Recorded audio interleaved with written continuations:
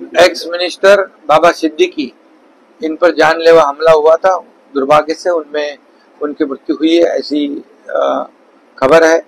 और ये बहुत ही दुर्भाग्यपूर्ण घटना है, दुखद घटना है।